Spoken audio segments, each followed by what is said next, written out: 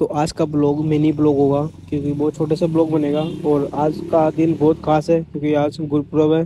तो आज का ब्लॉग हमारा गुरुद्वारा का होगा, जो कि यमुनानगर के अंदर नेहरू पार्क के सामने पड़ता है, जो मैं कि अपने दोस्तों के साथ मैं जाके वहाँ ब्लॉग बनाऊँगा। तो चलिए, चलते हैं।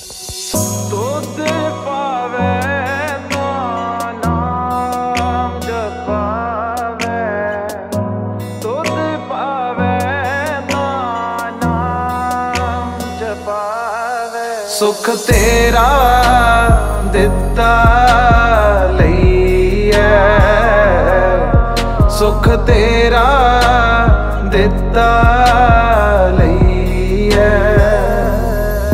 ਸੁਖ ਤੇਰਾ ਦਿੱਤਾ ਲਈਐ ਸੁਖ ਤੇਰਾ ਦਿੱਤਾ